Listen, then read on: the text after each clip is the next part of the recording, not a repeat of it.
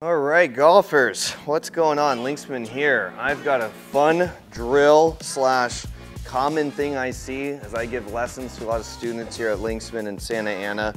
Um, it's very common for people to chicken wing or kink your lead trail, or sorry, your lead arm, your left arm. So if you're right-handed, your left arm. If you're left-handed, it's your other arm, your right arm.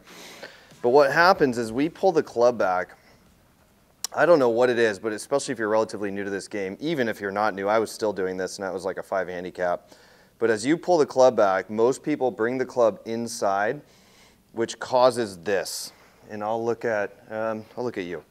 So what happens is this arm kinks, I've seen it as much as this. It's usually because you're probably an ex-baseball player. So if you think about a baseball swing as it's here, you're getting a ton of power, right? And so it's hard to break that habit, but what I will tell you, this is a very easy drill. You just need two golf balls, just like that. This golf ball goes directly behind it. So what happens is a lot of people, I don't know why, it's just maybe because it's natural and very comfortable to bring the, the uh, club, arguably, they bring it to like that.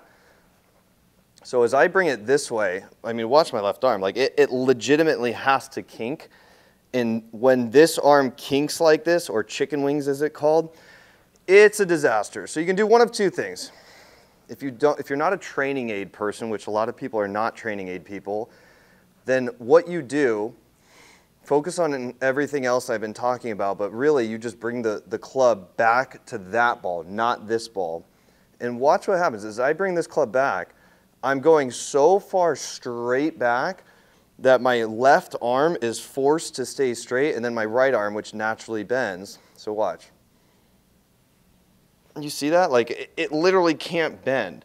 Now, if you're not, if that's not making sense, you can get at Roger Dunn or online this band, Izzo, Izo, I don't really know how to pronounce it, but it pretty straightforward and simple. You're going to just put it on both arms Put it on your biceps, not your elbows. Make sure this goes on your biceps. And this might mess up the uh, mic here, but it's okay. So this is now forcing me, I'm just gonna rest the club there for a second. It's forcing my arms to go in and creating kind of like a V. Let me just introduce the club here. So because it's compressing my arms together, like it's hard for me to be out here. It just naturally wants to go in. And because it's doing that, this is what also will help. And it feels weird. If you're someone who chicken wings like a lot, this band is gonna feel really uncomfortable at first until you break that habit. This also promotes you bending your wrists, like kinking your wrists, which is really good for the swing. So I'd highly suggest either using this training aid or just simply bringing the club back out that way, not on the inside path. And I think you will see a dramatic difference in ball striking ability using this technique. So give that a shot. Let me know how you do.